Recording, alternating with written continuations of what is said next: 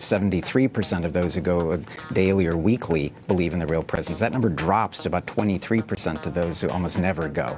That then has a, an effect also on how often you go to confession. 37% of all Catholics go to confession, but then we're getting into single digits with those who do not attend Mass on a regular basis. Very interesting indeed what we don't understand anymore. But confession is a part of our human fabric. It is just kind of part of who we are. We're always in need. In fact, we will say to people, uh, you know, it takes a big boy and a big girl to say, I'm sorry. Welcome to the Father Leo Show, where I'm dishing out faith, culture, and commentary. And in this episode, we're going to talk about the need for true divine mercy from Jesus Christ, as well as explore a little bit about the life of Saint Faustina Kowalska, because guess what? I am actually in Poland right now leading a group of pilgrims. And before we jump into our comments about faith and divine mercy, I want to say thanks to all of those who support and subscribe to our channel. Make sure if you haven't done so yet, click subscribe. Honestly, it takes but a second and it helps us to grow our audience. When you make your comments, guess what? YouTube likes that because it shows that there's actually engagement. And by the way, we read these comments and helps us to improve in our show and understanding how we can dish out for you faith, culture, and good commentary that's not going to make you mad, but help to form you to be a, a, a, thoughtful Christian living in the midst of this world, to be able to deal with all the craziness. And that's why we need God's mercy. And by the way, mercy comes by way of supporting our channel. So please, if you haven't done so yet, uh, go to our Patreon page and help us out with your monthly donation. You're going to get access to even more content as well as special perks, as well as even perks to come on a future pilgrimage with me. So let's just jump right into it with this Divine Mercy Sunday special edition and my comments about faith. Sister Maria Faustina Kowalska was born in the 19, in early 1900s, and in 1930s she received a special kind of a calling by the Lord. She was visited by Jesus, and I, basically, let's do this. Let's just watch this little video. It's very pious.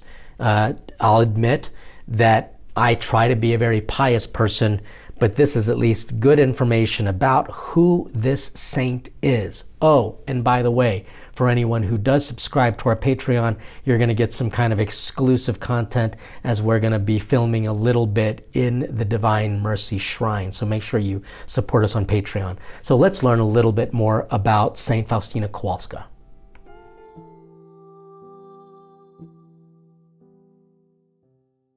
Saint Maria Faustina Kowalska of the Blessed Sacrament was born as Helena Kowalska in Poland on August 25, 1905.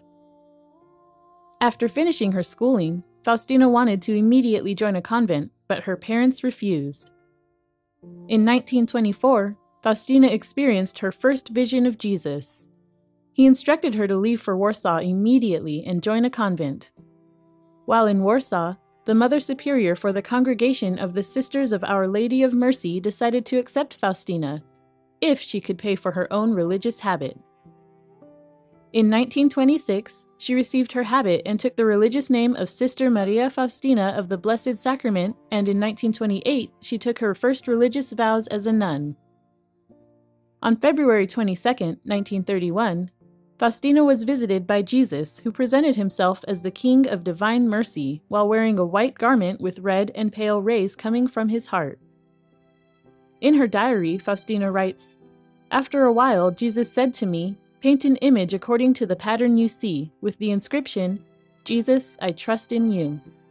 Three years later, in 1934, the first painting of the image was created by Eugene Kazimirowski, after taking her final vows in 1933, Faustina met Father Michael Sopoćko, the appointed confessor to the nuns. Learning of her conversations with Jesus, Father Sopoćko insisted she be evaluated by a psychiatrist. Faustina passed all tests and was determined sane. Sopoćko then encouraged her to start keeping a diary and record all her conversations with Jesus. After two years of feeling ill, Faustina passed away on October 5, 1938. She currently rests at the Basilica of Divine Mercy in Krakow, Poland. Her diary, Divine Mercy in My Soul, has become the handbook for devotion to the Divine Mercy, and the Divine Mercy image continues to be one of the most recognized images of mercy. St. Faustina's entire life, in imitation of Christ's, was to be a sacrifice, a life lived for others. St. Faustina Kowalska was beatified on April 18, 1993, and canonized on April 30, 2000, both by Pope St. John Paul II. Her feast day is celebrated on October 5th, and she is the patron saint of mercy. Again, a pious recounting of who this great saint is, and really, it was all about what Jesus did for her in these private revelations. And, you know, in previous episodes, we talked about what private revelations mean. Again, you technically don't have to believe in this private revelation that Jesus appeared to St. Faustina. You don't. You can still be a good Catholic, but you can't make fun of this. You can't diminish its importance. In fact, private revelations, when approved by the church, can help increase devotion for you. It's almost like the little signs that Jesus gives to us because we're constantly asking for whether or not God is real and can God forgive the greatest sinner? The answer is yes. And this Feast of Divine Mercy is a chance for all people who experience sin in their life, including me, to beg for God's mercy. And so here's what we need to do because it falls on the, sun, the Sunday after Easter Sunday. So basically, tomorrow, if you're watching the show when it's released. And so basically, what we've got to do is in 2024 at least, the Feast of Divine Mercy is on Sunday, the uh, April the 7th. Just so that you know, that again, that's tomorrow if you're watching this show when it is released. But here's what we need to do in order to obtain this divine mercy. Sincerely repent for our sins, place complete trust in Jesus, go to confession, preferably before the feast day itself, receive Holy Communion the day of the feast or its vigil, venerate the image of the divine mercy, and be merciful to others through our actions, words, and prayers on, behalf, on their behalf. And, and what we also have to do is make sure if to receive this plenary indulgence, which is uh, a full pardon of all of our sins, we're supposed to uh, receive Holy Communion worthily and then also go to confession and be in the state of grace. And the usual things is also have to pray for the Pope. And that has to happen within this kind of time frame. Now, I know that we're going to be completely imperfect in doing so, but I think God even understands we're making an effort. Because you will never be forgiven if you don't ask for it. It's kind of just as simple as that. And I want to let you know that I am personally connected to the miracle that proclaimed Blessed Faustina to Saint Faustina. I'm going to tell you a little bit more about that in my commentary. But what I want to do right now is jump into the culture and what people in the world think about divine mercy. So here are my commentaries on culture and mercy. Clearly, the Catholic Church is the only religion that really promotes confession as one of the sacraments simply because Jesus told the disciples to go out into all the world, you know, to forgive sins. If you forgive them, they'll be forgiven. If you hold them bound, they will be held bound. In other words, Jesus gave to the church the institution for reconciliation.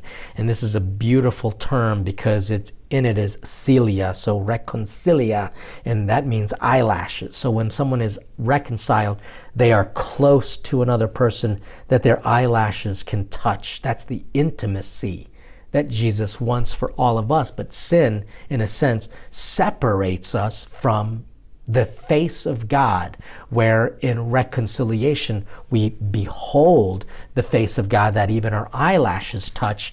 That's how close God wants to be with us.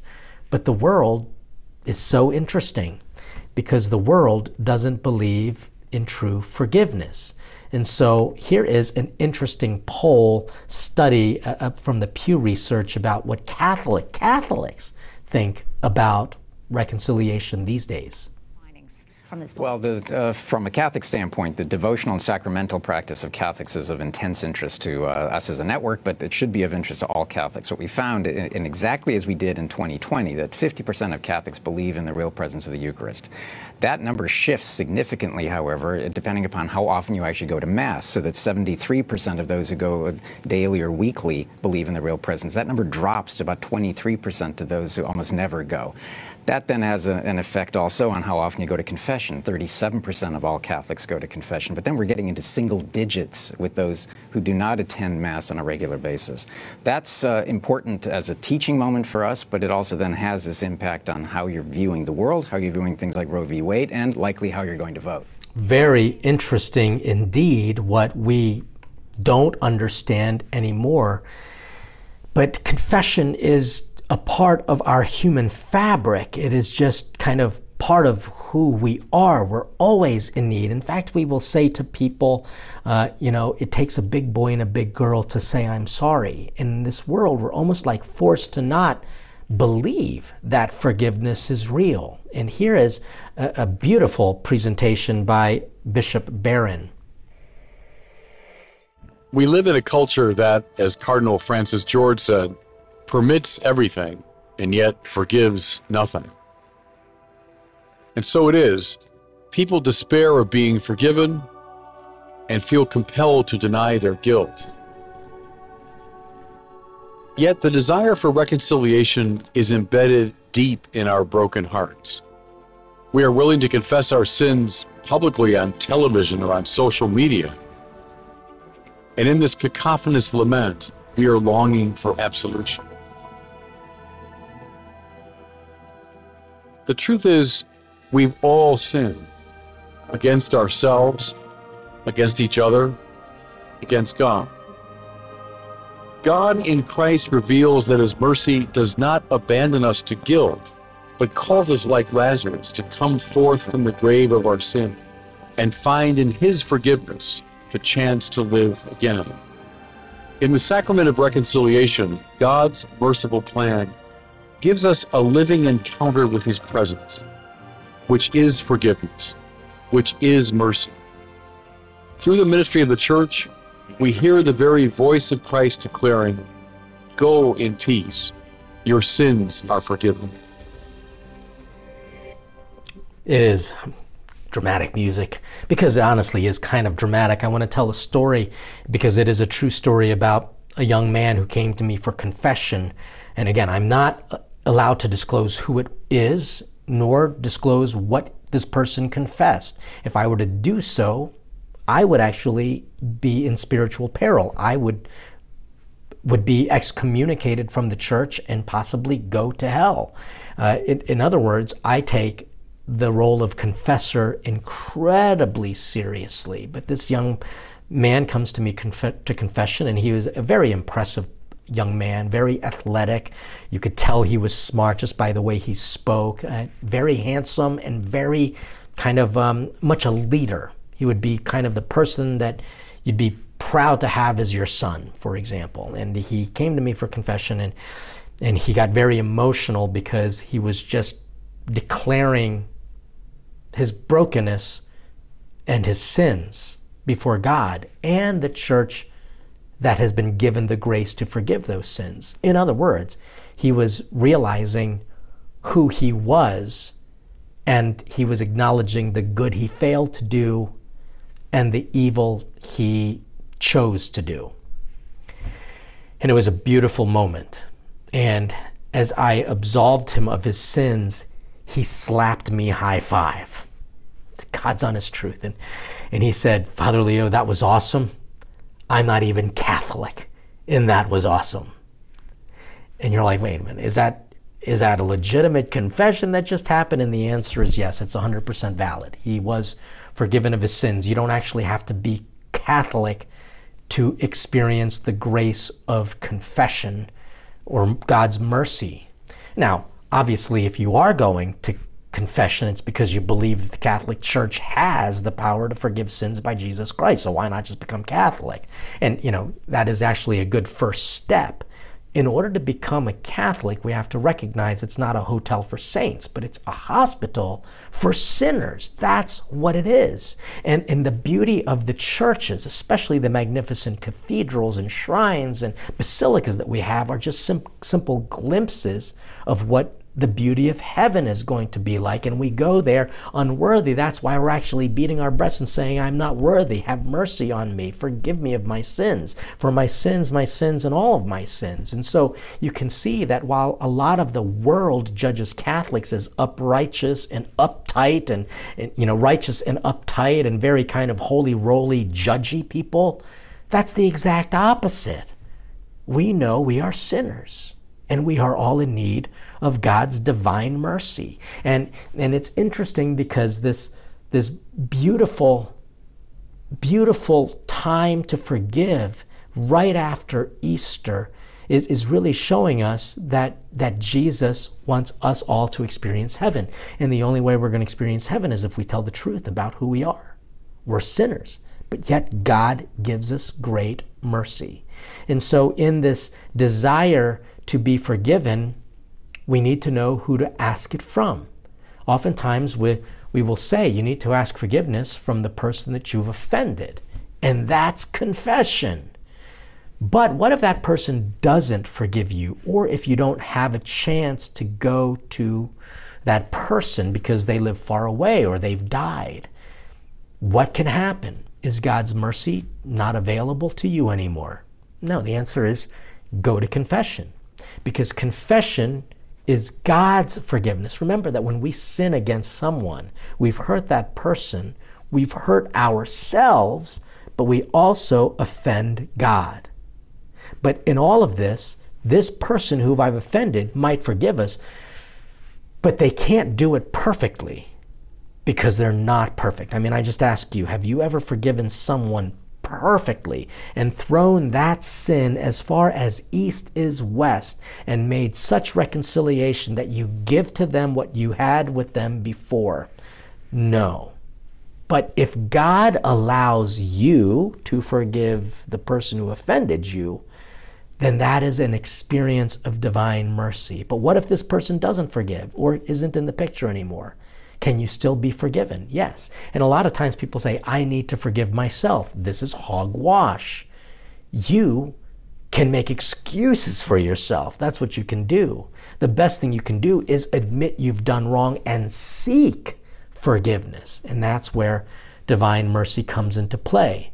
And again, our world seeks forgiveness too. That's why they're constantly confessing their brokenness on social media or, or on talk shows. And as Bishop Barron said, uh, it is very easy for the world to promote sin.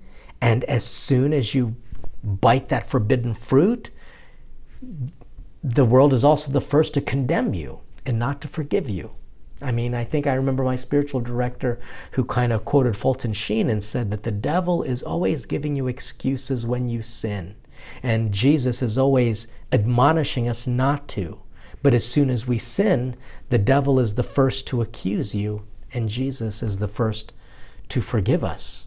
We've got to realize that the sacrament of reconciliation is not an important thing to do, it is necessary for our own sanctification and our salvation. Why do you go to a priest? I know a lot of non Catholic Christians will question that. Well, guess what? It's because Jesus gave us the power to forgive sins. That's all there is to it. Through the ministry of the apostolic priesthood, we are given the right and therefore the responsibility and incredible privilege you know, we are taught in the seminary to be as generous with forgiving sins as possible, and even giving certain priests, these missionaries of mercy, the ability to absolve even the gravest sins, which at one point were reserved to the bishop himself. And so we've got to realize that God wants people to be reconciled.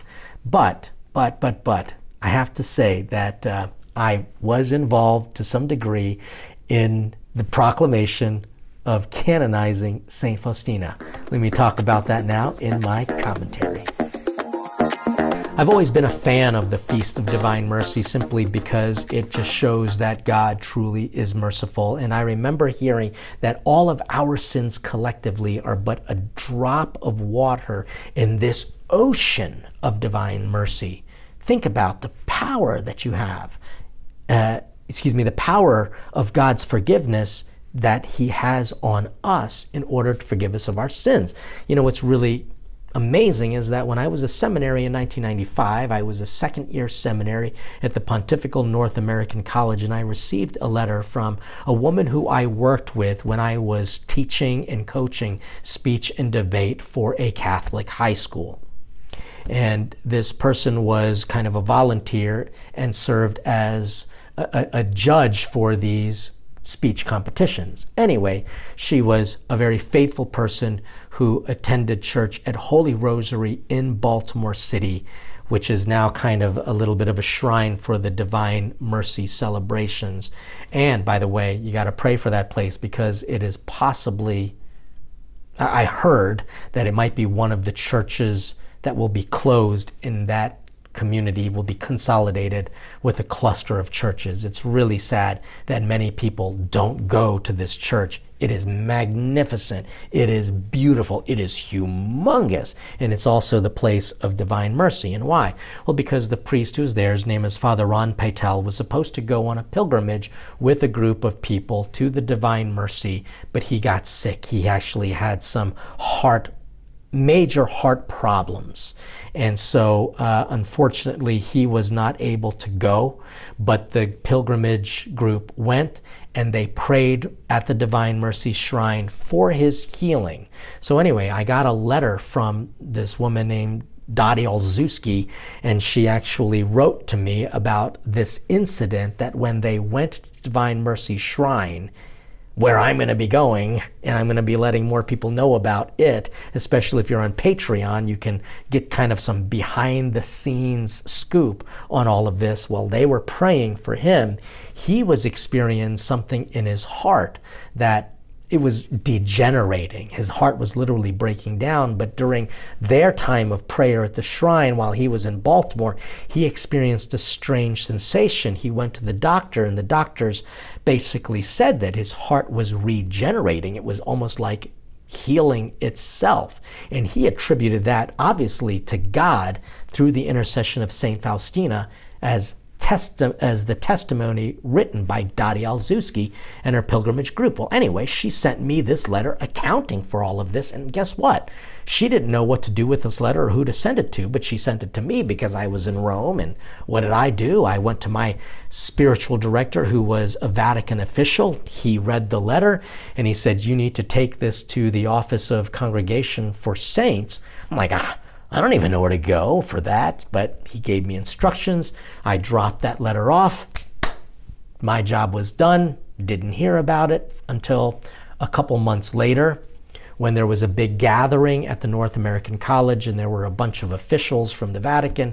And one of them came up to me and he says, Are you Leo Patalinghug? Yes, I am. He said, I'm Monsignor so and so from the Congregation of Saints. And I'm like, Would you like a locket of my hair? You know, when you want to proclaim me a saint. That's just me being a snippy little seminarian.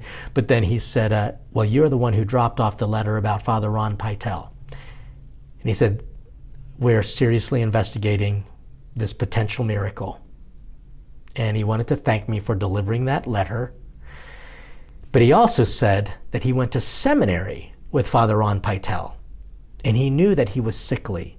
And he was happy to know that he was recovering so the miracle of Father Ron Pytel, which was examined three years, for three years, was the official miracle that proclaimed Blessed Faustina as Saint Faustina Kowalska. And guess what? I was the mule that delivered that good news. Pretty amazing stuff. That's why I have a great devotion to the Divine Mercy image as well as the promotion of the apparitions and the messages. I will be very honest, I have not read the entire diary, which is like super thick, but I have read parts of it and am very moved by the words that she said came from Jesus. And Jesus was all about true forgiveness and true love, which is kind of what this world needs right now. So I just want to challenge you in my commentary.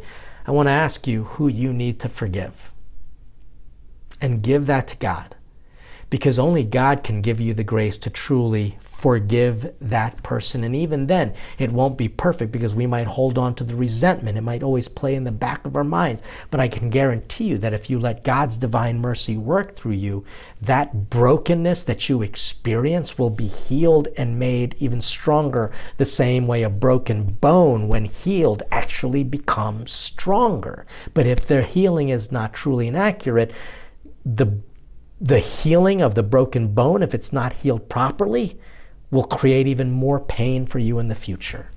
Which is why we need a mercy that is so complete that it can only really come from God. Don't believe in the secular understanding that I need to forgive myself. You can't.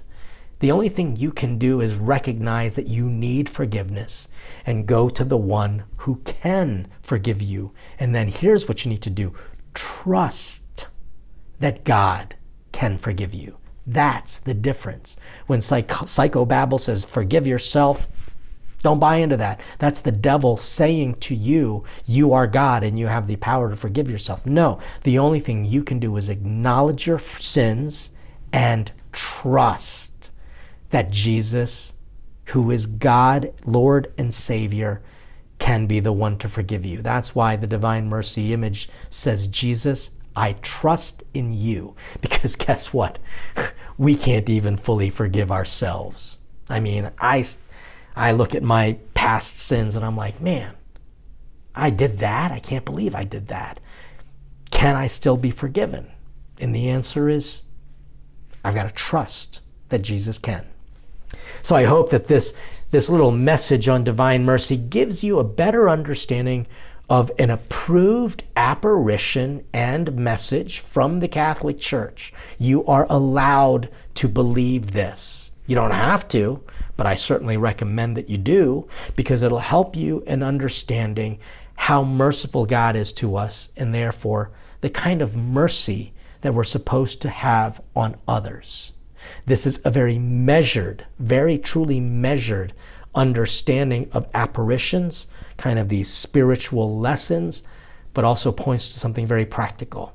I certainly hope that you will celebrate well this Feast of Divine Mercy and make sure that you like, subscribe, share, and comment. All of that really helps us to grow our channel so that we can approach things like divine mercy and private revelations in a more Catholic and pastoral way.